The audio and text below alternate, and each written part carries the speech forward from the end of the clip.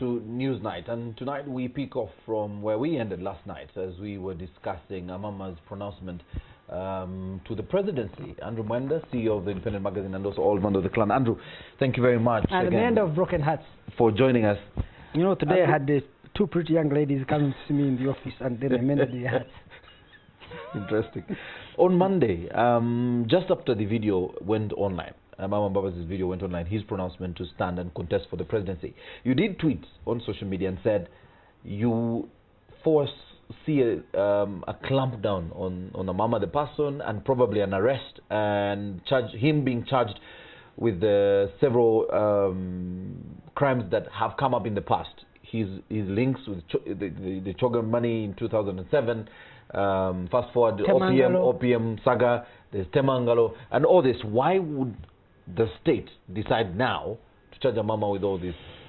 Because I think that it is, uh, it is a rule in the Museveni handbook, in the Museveni's political handbook. He has it's a rule changed over the last few months. I don't think I so. don't think. I don't think so. I think that even if Mus- whatever Museveni's personal wishes anyway, I have this inclination to think that the Museveni apparatchik will try to humiliate him, Mbabazi, if only to please the president. But the president would because probably hold I that. put myself in Museveni's shoes. Yes. Has given everything to Amama Yes.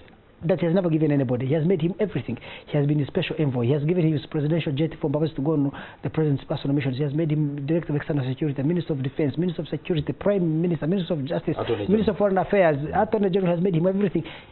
So, if you're in Museveni's shoes, you'd feel a deep sense of betrayal for somebody you'd confided in so much, brought so close, gave so much power, and in any case, he never even fought in the bush to betray you like that. So, Museveni's personal sense of betrayal will drive those around the president to do the worst things for, for Mbabazi in order to please the president. Now, let me tell you what they will do. One, Yes. and the president has told Mbabazi this before in a, in a SEC meeting. He said, but I hear people are raising these issues of oh, Temangalo. And, eh? He told him, He "Do you look at-" the. He defended at that time, but now, That- now, now they can bring it back if only to undermine Mbabazi's credibility. They may try to try him. You see, if the president called me and said, the "Old man, you are wise now, given your balding head and grey hair," what do you think? I think that they should not arrest Mbabazi because if they attempt to do to humiliate Mbabazi, they will build greater sympathy for him and even improve his profile because the media will be covering it. He'll become talk of the town, talk of the village, talk of the market, talk of the factory, talk of every place, the street corners. People will be talking about him. You don't want to give him that advantage. So if Mbabazi has already positioned his campaign in a much more civilized way, I would request the NRM and the president to also respond in a highly civilized way, be detached from him, try to engage him on issues because let me tell you, this issue, Morris, this campaign isn't really not about policy. There is nothing that, what Mbabazi raises that is about policy. Mbabazi actually raises the right issue. He says implementation, that he wants to improve the administrative competencies of the state, which are uh, implementation competencies of the, of the state which are weak, not the policy uh, options of the state. And Mbabazi, from the, what I know, I personally, Babas worked one time with my brother, and my brother had a very high respect for him because he felt he is a very effective administrator. He is a results-oriented person. He knows how to manage a process to get the right result. And I felt, I feel President Seven is too patient, too slow sometimes in trying to push his people to deliver on targets he has set. So Mbabas may bring much more.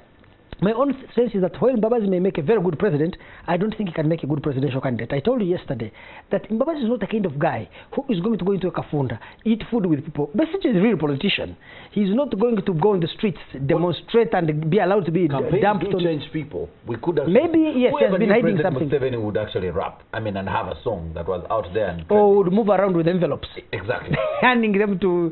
The yes. president of the uh, late 80s, early 90s would I- not be the one moving around with yes, envelopes. I agree. So it is possible he that can actually go to a winner. He could go Mbabazi, the demands of politics may change Mbabazi's behavior, and he may try to get out of his uh, rigid, stiff fashion, and he becomes a much more flexible and uh, uh, uh, attractive person. You'd never know. That will be a surprise to us. Let's, let's discuss something else uh, that, that keeps coming up.